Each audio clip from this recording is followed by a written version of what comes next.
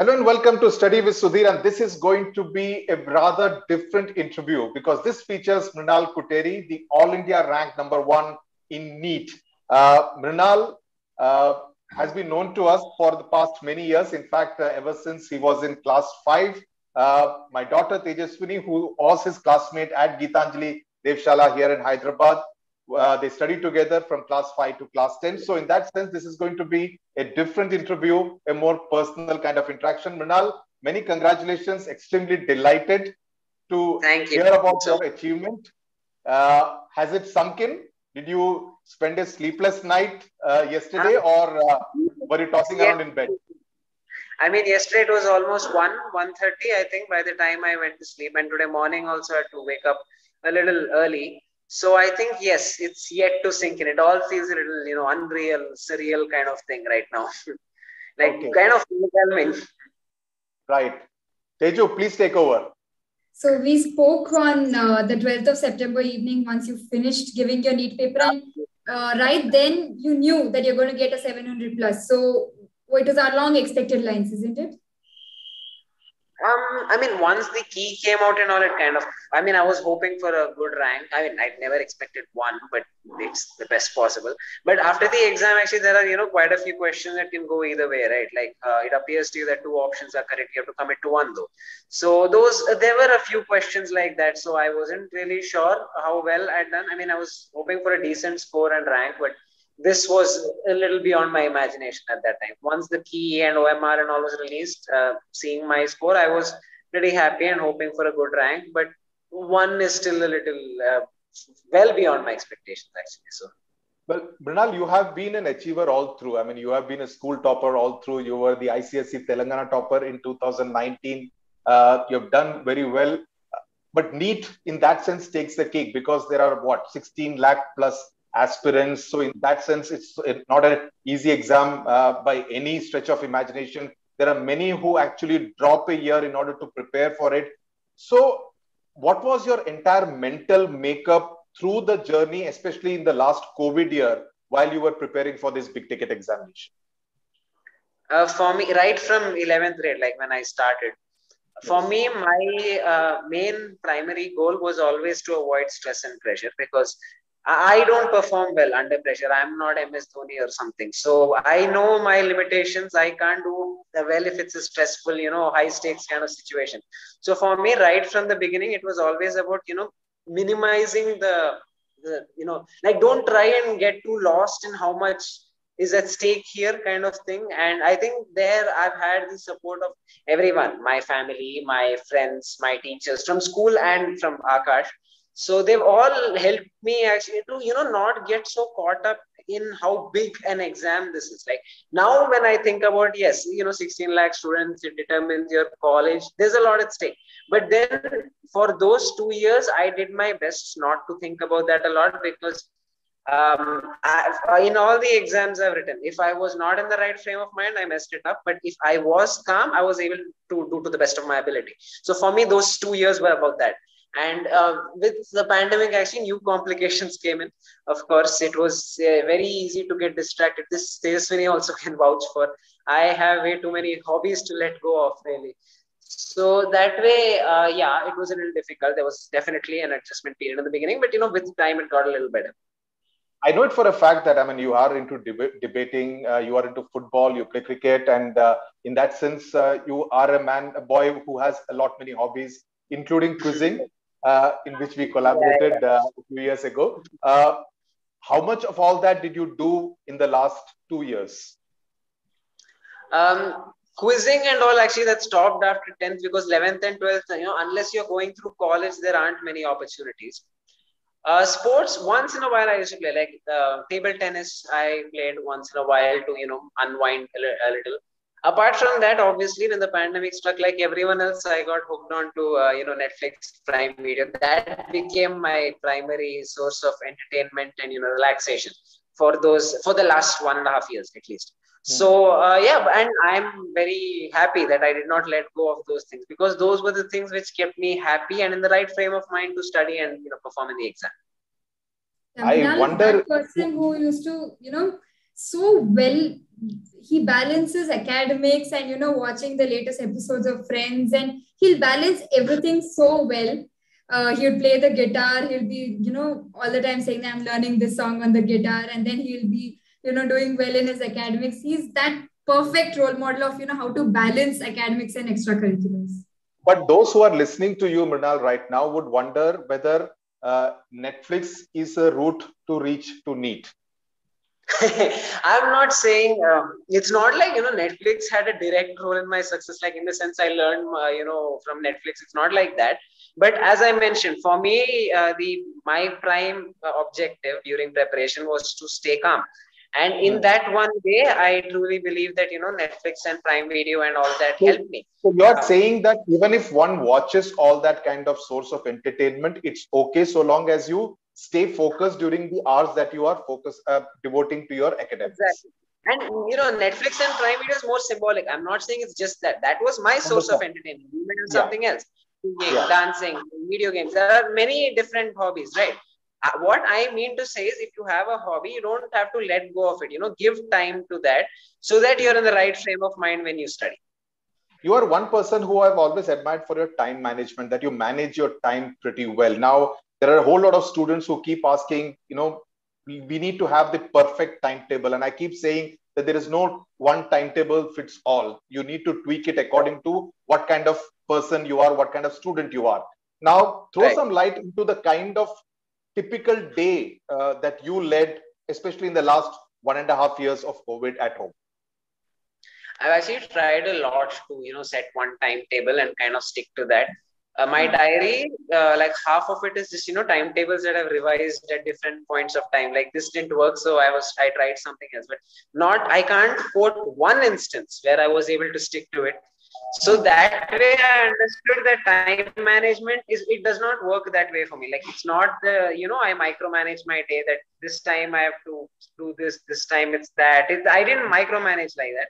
I hmm. had a goal like you know hmm. these this much i have to finish in a day and i didn't finish that every time either but uh, with a goal in mind i gave myself the flexibility to work towards that the way i wanted not necessarily according to a timetable because each day is different no? i mean like suppose you got a call from someone else and you you never know what may come up yeah. and if you set a timetable and you can't stick to that because of what whatever the circumstance you unnecessarily feel you know disappointed in yourself and then it leads to that vortex of self-doubt and all those other negative feelings so that's why I found it best to, you know, avoid that whole concept of timetables. I just tried to go with a daily goal in mind.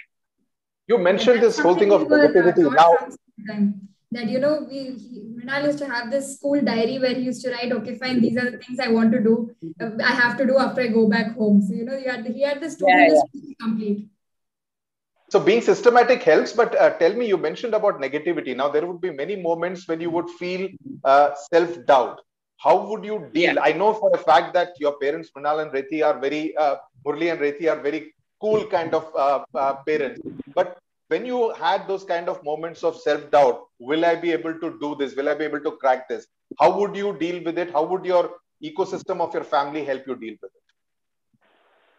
I'd say this is where, you know, kind of faith in yourself and, you know, the faith in you that's displayed by your family, friends, teachers, all comes into play like i've had i've had many a bad exam of course uh, you know a bad day when i wasn't able to study even close to what i had planned so hmm. you know days like that it's very easy to you know fall into that uh, you know that that quicksand kind of thing it is it pulls you in and if you fall in it's very difficult to you know claw your way back out so hmm. uh, there i think i've been very lucky to have supportive family friends and teachers but uh, mm. one thing i believe is you know you should have faith in yourself and um, it's okay like uh, it does not mean that you have to follow what others are doing. Everyone mm. has different methods of preparation. Still everyone has good days and bad days. So for you it's the same way. Your story is different from you know this year's topper or last year's topper. It's different. Yes. don't judge yourself according to someone else's yardstick. So just yes. you know have faith in yourself and believe that you know the effort that you're putting in it is going to bear fruit one day maybe not today maybe not tomorrow but one day it will uh, so and uh, of course the support system you have i think these things are what you know help me stay motivated. I think that's a very important thing that you said. Yeah, your story is different. That my story cannot be the same as someone else's story. You need to write your own script. That's a very important thing that you said. How many mock tests would you really attend? Because that's another thing which many students have. Uh, Teju will tell you about how, unless she was fully prepared, she would not attempt a mock test or she would be reluctant to attempt it. Uh, what, what would your mantra be? Attempt it, come what may, just see how it goes? personally for me i always wanted to attempt tests because um, my main uh, logic behind attempting mock tests was it exposes you to the entire spectrum of you know that of what papers can be. You will if you write tests regularly you will be exposed all the way from very easy to very hard paper and very you know questions. So then you know no matter what comes in the exam you won't be taken aback. Like it's a hmm. very unsettling thing you know if you are exposed to something new on the day of the exam it totally throws you off track so this is where i believe that you know writing mock test practice tests and all helps because you feel prepared for anything. No matter what it is you have a strategy. Like from the time you wrote a difficult exam you know how to approach that kind of a paper. You learn from the mistakes you made that time. So that way i think it's important. But at the same time you know it's common that if you aren't prepared well and you don't score, you feel yeah. demotivated and also I think there also it's a bit based on you know personal preference. Like for me, I was uh, somewhat confident at least in my preparation, so I wanted to write as many tests as possible to get as much experience as possible. But if you truly feel that you aren't ready for it, then it's okay to take you know some time off from tests to you know work on your mistakes, your shortcomings, and all. But personally i do feel that it is important to write tests maybe not all the time but it is important to have that kind of exposure practice right uh, how many hours would be there or is it possible to quantify that this many hours at least on a minimum a student who's aspiring for NEET or even the JEE should actually write uh, should actually follow. Uh, that's different. Like you must have read so much about toppers putting in 12 hours a day 14 hours a day and all. And i personally have immense respect. I look at them from like a, a like an almost god-like perspective to be able to do that kind of thing because i know it's not next to impossible it is impossible for me i know i can't do that but mm. all i'm saying is like you know each person with their own abilities and limitations it's mm. not like a set time like for me aside from college hours i used to put in maybe four hours a day if I'm really lucky and you know, I'm, I'm like really focused and all, maybe five. But I can't manage anything beyond that. Okay. And I didn't try to push myself beyond. I mean, I tried, but when I figured out that it wasn't working, I didn't, you know, try and force myself into that because I knew it wasn't working for me. I knew that I needed my break time, my downtime, and that, you know, early morning, late night studies is not my thing. So I would just say, you know, that way be uh, bold enough to experiment find out what is the optimum time for you where you're able to make the best use of time. It's no use studying very little and it's also no use studying too much. So you know try yeah. your best to find that optimum middle. Uh, how did you deal with this entire year when there was so much of delay in the examination postponement? Uh, an exam which should have been held sometime in the month of may being conducted in the month of september. How did you cope with the entire delay process it was kind of difficult, especially at the start, you know, where it's like easy to get distracted on a mobile phone, laptop, uh, and TV is like an at, at an arm's length, right? So yeah, it was there was a bit of an adjustment period in the beginning. I I still don't think I've overcome it completely, if I'm being honest. But yeah, I was able to improve a little, you know, put in a little more time and be hmm. able to make the most of whatever time I put in. So one thing I'd like to say is that you know, uh, like because of you know staying at home, we all had more time in hand, right? That does not necessarily mean you have to take all that time and put it into studies. You can use that time, like some time extra if you can put in. That's great. But also make sure you make time there for your own interests and hobbies. You know, keeping in touch with family and friends. All yes. those things are equal contributors to hmm. uh, any person doing well in a competitive exam, in my opinion um, I know it for a fact that you started off wanting to be a chemical engineer. Then there was yeah. a period when you wanted to be an army doctor and joined the AFMC. Uh, and now I think your destination most likely is going to be AIIMS in Delhi, right? Ah, uh, yes, yes. Now it's that. So how does the journey over the next decade possibly? Because medicine is going to be a long, long journey. How how how are you kind of mentally thinking about the journey over the next decade? Like in the future, you're saying. Yes. Yes. In the future, like one thing I've learned from this, you know, when I look back and I see how much my interests and all have changed, one thing I figured is you can't plan it. Like, I mean, five years ago, I wanted to be a chemical engineer. Now I'm doing this, falls apart really.